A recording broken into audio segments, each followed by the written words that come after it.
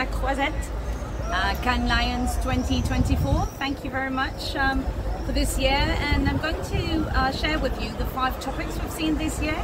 So here at Cannes Lions, um, unlike what we expected, that all everything was going to go around AI, we've seen a very human part of the festival. Our industry is taking back humanity, is taking back how we feel emotions, and not in a purpose-driven way, because I think um, uh, it's not me; it's many people saying it. Purpose has come to speak.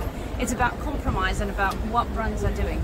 So I think it's important, and this links also with the second point, which is humour. Everybody was talking about humour, and it's clear that we've been taking life too serious. Um, for obvious reasons with what we've been living in the past. But now it's time to really engage with people. People want to have fun, want to really have this humor part of creativity, and we're able to do it very well. And we've seen exceptional cases of working on that sense of humor and really touching emotions to people. Um, this links to the third point, and the third point I would like to point is about entertainment. Entertainment is obviously one of the biggest tools we have and when I talk about entertainment, is about social, is about influential. We've seen it's the first time that Cannes Lions host uh, brand creators, and that has been on the rooftop. And it's been really interesting to see how this community is engaging with advertising, not only because of the social platforms, but also because of the gaming. And gaming, it's been treated in a very interesting way because it's true that we have the power on our hands to do it properly. Gaming has a, a, a a dark part and we really have to be responsible on how we work in it. But gaming is growing, many brands are embracing it and we've seen extraordinary cases in many of the categories in this area.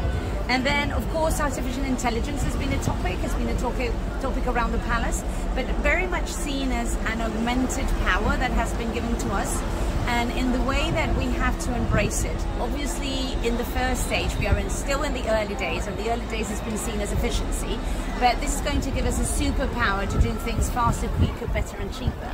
But also um, to ignite and really to do things in a different way and to allow us to do this um, anticipation, which is really what we're looking for, and how to work in brands, how to do tests in real time, how to work in search in another way because search is going to change immensely, and how to work in media also in another way.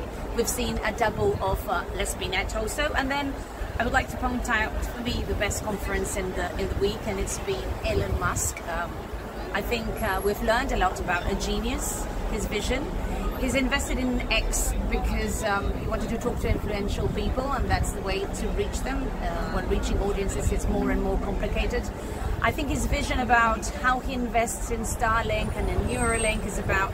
It's not about this um, doing good or going to space. It's about civilizations going far away.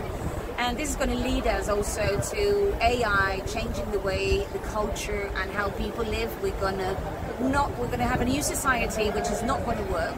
This is how he sees it in the in the short run. I mean, he says that um, we're going to change immensely in one year, but we're going to have radical change culturally and in the social environment in in about five years' time. And so, if people is not going to work, we're going to get to existential problems, and people are going to start to think what we're doing for a living.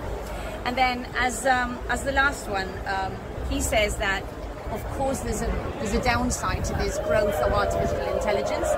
This would be like 20%. He's optimistic in an 80%, and he says even if we fail and we collapse, I want to still see how we collapse. So I want to be there.